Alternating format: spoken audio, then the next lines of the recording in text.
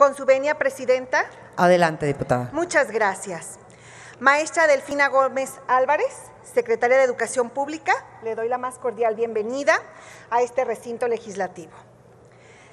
La educación debe ser vista como un modelo integrador y de cambio a la sociedad ya que estamos viviendo una problemática nacional que desde una visión de Estado debe ser considerada una prioridad a fin de velar por una educación integral para nuestras niñas, niños y jóvenes. Hoy más que nunca necesitamos de una recuperación gradual de la sociedad. Si bien la pandemia trajo consigo nuevas maneras de enseñanza para los educandos del país, de igual manera hoy nos encontramos con un nuevo reto y es el regreso a clases por lo cual debemos trabajar unidos para batir el rezago educativo existente. Mi compañera que antecedió la palabra ya hablaba acerca del acuerdo de la encuesta para la medición del impacto de COVID. Ya sabemos cuántos niños, niñas y jóvenes se quedaron sin escuela y eso nos preocupa mucho. También cuáles son las condiciones en este ciclo escolar 2021 de los más de 5.2 millones de educandos que no pudieron concluir sus estudios por motivos de pandemia o por problemas inherentes a esto. Esto quiere decir que en dos años más de 7 millones de niñas, niños y jóvenes no pudieron continuar sus estudios. Es otra cifra alarmante en la cual debemos ponernos a trabajar enseguida. Seamos conscientes que la emergencia sanitaria no ha desaparecido y que es muy probable que regresemos al confinamiento. Por lo consiguiente, debemos contar con un plan eficaz para que el rezago educativo pueda agudizarse.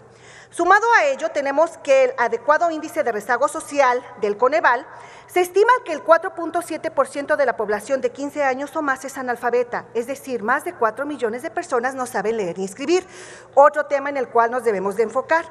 La magnitud de los problemas en materia de educación es impresionante. Si bien el presupuesto para el 2022 en el sector educativo aumentó, es el más bajo en los últimos años, por lo cual es claro que no cumpliremos con todas las expectativas, así como tampoco bastará para contrarrestar lo que se ha estado viviendo en las escuelas del país.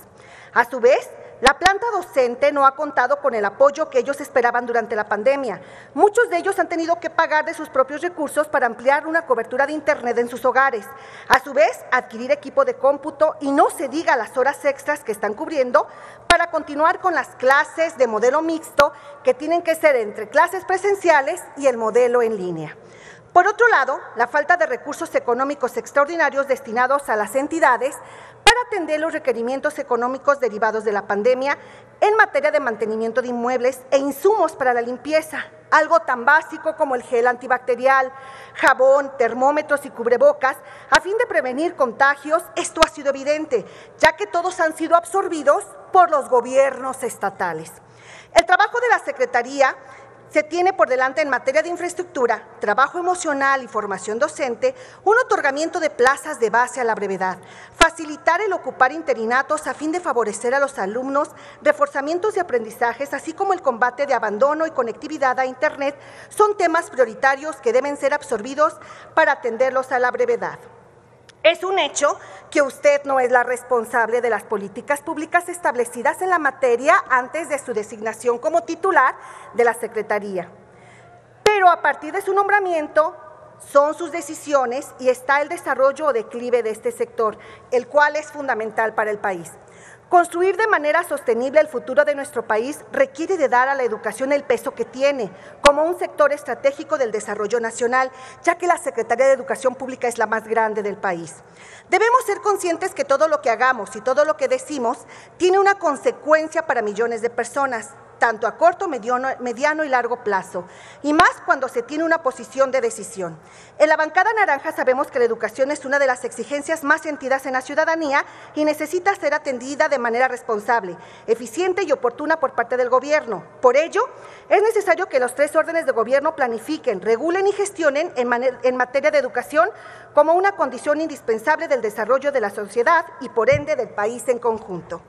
Maestra Delfina, Gracias por su atención y quedo a la orden para sumarme y hacer una mesa de trabajo. Gracias. ¿Es cuánto?